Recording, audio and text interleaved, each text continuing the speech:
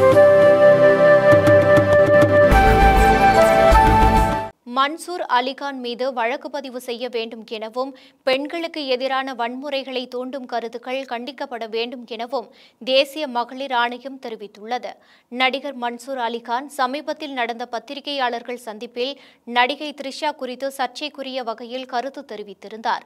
அவரது கருத்துக்கு பல்வேறு தரப்பிலும் கண்டனங்கள் எழுந்தன. இந்நிலையில் நடிகர் மன்சூர் அலிகான் மீது தாமாக முன்வந்து வழக்கு பதிவு செய்ய தமிழக டிஜிபிக்கு தேசிய மகளிர் ஆணையம் உத்தரவிட்டுள்ளது.